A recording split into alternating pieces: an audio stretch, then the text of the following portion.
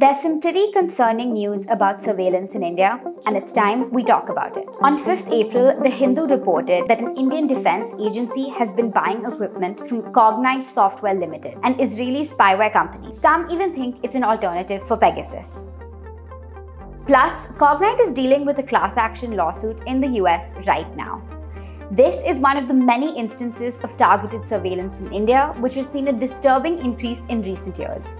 With the rise of digital technologies, the government and other entities have allegedly increasingly used surveillance to monitor citizens' activities. But how does surveillance even work in India? What are the existing laws that regulate it? And what is the surveillance architecture here? Let's dig into these questions with our policy researcher, Anushka Jain. Hi, I am Anushka Jain, Policy Counsel at Internet Freedom Foundation. To start off, currently the Telegraph Act and the Information Technology Act are two laws in India that regulate surveillance, but they have several pitfalls. The Telegraph Act lets the government tap phone calls, but it doesn't cover modern forms of communication like email or messaging.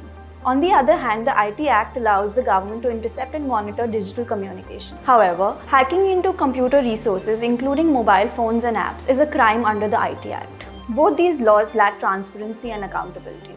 These laws, along with the rules made under them, form the legal framework which is a key component of the surveillance architecture in India.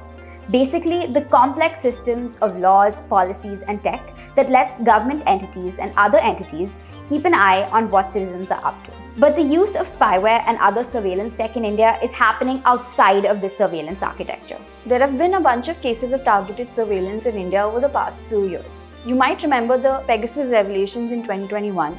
It turned out that this spyware, developed by the Israeli company NSO Group, was used to target 37 phones, of which 10 belonged to Indians. Amnesty International Security Lab even confirmed that phones of journalists from big name news outlets were targeted. Back in 2019, there were claims that Pegasus was used to hack into the devices of journalists, lawyers, and Dalit activists linked to the Bhima Koregaon case.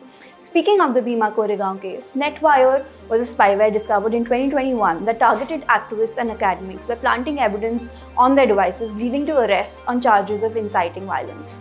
This raised serious concerns about the use of surveillance technologies and its chilling effect on free speech and dissent. Two cybersecurity firms, Arsenal and Sentinel One, published reports on spyware use in the Bhima Koregaon case. Arsenal's report showed that malware was used to spy on and plant evidence on the computers of two accused activists. Sentinel One's 2022 report investigated the hacking campaign which targeted individuals of the Bhima Koregaon case and found links between the campaign and someone associated with the Pune police, raising worries about law enforcement agencies potentially abusing such surveillance tech. The weak surveillance architecture in India has also allowed private surveillance for hire entities to flourish in India.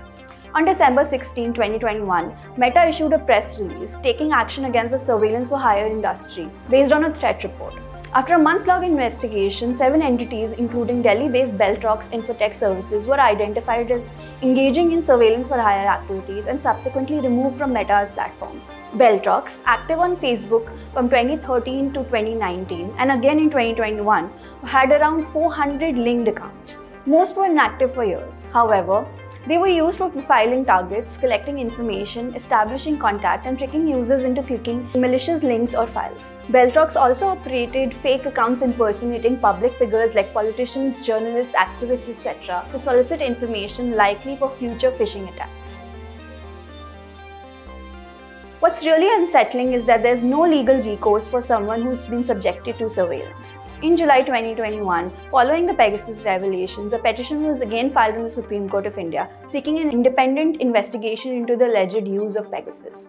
In October 2021, the court established a committee of experts to investigate the matter. By August 2022, the committee submitted its report in a sealed envelope to the Supreme Court. The Chief Justice of India read some parts of the report in open court, which revealed that malware was found in 5 of 29 phones, but the report couldn't confirm if it was Pegasus. The CJI also remarked that it appeared the Union government did not cooperate in the proceedings before the committee. Despite this shocking revelation, the report remains in, in the sealed envelope in the custody of the Supreme Court's General Secretary, even when the CJI stated during the court proceedings that parts of the report will be public.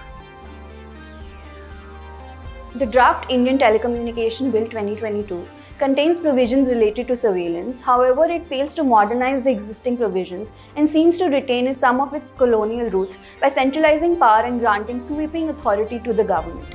Plus, it brings OTT platforms like Signal and WhatsApp under the purview of telecom licensing, which would subject them to the same surveillance provisions as traditional telecom services. This might just expand government surveillance capabilities and its encroachment on user privacy. The draft Digital Personal Data Protection Bill 2022 was expected to institute much awaited safeguards on the surveillance architecture, but it instead granted exemptions to the state, widening government surveillance powers. As spyware and surveillance technology continue to advance rapidly, our laws are struggling to keep up, making the situation even more alarming. The Internet Freedom Foundation is dedicated to defending our digital rights, but we need your help. Donate to us and contribute to the fight against invasive surveillance. Also, join our Telegram community for some great tech policy discussions with fellow policy enthusiasts. And hey, don't forget to subscribe to IFF's YouTube channel to stay informed.